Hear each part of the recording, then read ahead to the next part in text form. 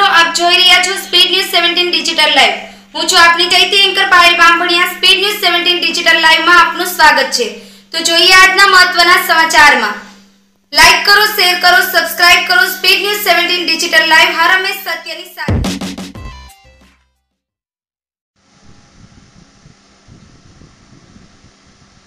દ્વારકામાં આવતીકાલથી જગત મંદિરના દર્શન માટે ખુલશે દ્વાર. આવતીકાલથી ભક્તો માટે દ્વારકાધીશના પ્રવેશ ખુલ્લા થશે. એક સાથે પચાસ જેટલા શ્રદ્ધાળુઓને અપાશે પ્રવેશ. સોશિયલ ડિસ્ટન્સ અને માસ્ક ફરજિયાત સાથે ભક્તોને મળશે પ્રવેશ. આરતીમાં પણ ભક્તો ઊભા નહીં રહી શકે, દર્શન કરી ભક્તોને નીકળવાનું રહેશે. મંદિરની પરિક્રમા પણ ભક્તો માટે બંધ રાખવામાં આવી. મંદિરમાં ચુસ્ત પોલીસ બંદોબસ્ત સાથે કોવિડ નિયમોનું પાલન કરી દર્શન માટે જવા દેવાશે.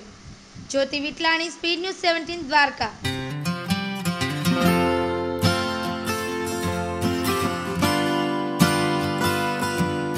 Shri Dwarkadhish Jagat Mandir આવતીકાલે એટલે કે અગિયાર તારીખથી સરકારશ્રીની જે સૂચના છે એ મુજબ આપણે ખોલવા જઈ રહ્યા છે. આ માટે તંત્ર છે એ સંપૂર્ણ રીતે સજ્જ છે. ખાસ કરીને વાત કરીએ તો મંદિરની અંદર પચાસ લોકો જ વધુમાં વધુ જઈ શકશે. એ સિવાયના લોકો છે, બહાર જે કતાર છે એના અંદર ઊભા રહેશે અને ક્રમશઃ તેમના વારા પ્રમાણે લોકો અંદર જશે.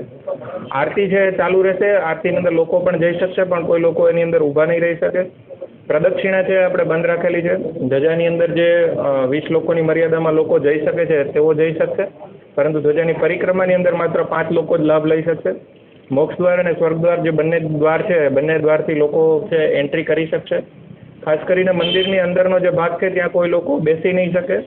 દર્શન કરીને લોકો તાત્કાલિક બહાર નીકળી જાય એ પ્રમાણેની વ્યવસ્થા કરી છે. શનિ, રવિ પૂનમ અને અમાસના દિવસો છે. એની અંદર વધારે ટ્રાફિક થતો હોય છે. આ દિવસે ખાસ વધારે બંદોબસ્ત કરી અને સુચારુ રીતે લોકો દર્શન કરી શકે.